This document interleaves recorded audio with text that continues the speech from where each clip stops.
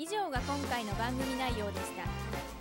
それでは次回12月23日金曜日から放送予定の番組内容をお伝えします。定例記者会見での市長からの発表の内容をお送りします。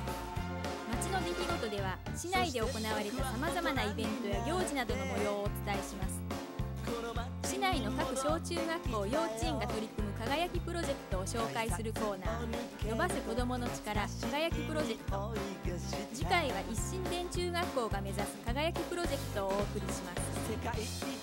心と体の健康について考えるコーナー「元気のツボ」次回は飲酒についてをお送りします。今回のミニ情報のコーナーは12月1日現在の住民登録数をお伝え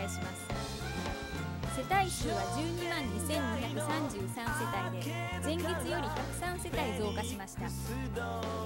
口は28万8983人でうち男性が14万122人女性が14万8861人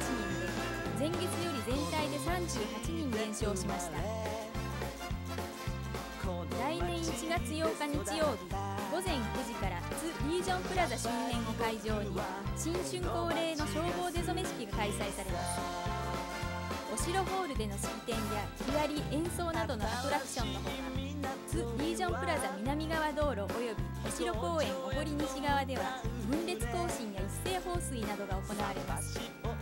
勇壮な消防出初め式をぜひご覧くださいこの後45分まで市役所からのお知らせをお伝えし45分からは「見つめてみよう植物の世界」をお送りします。今回は針葉樹林をお送りします。次回も津市行政情報番組「まるっとつガイド」をぜひご覧ください。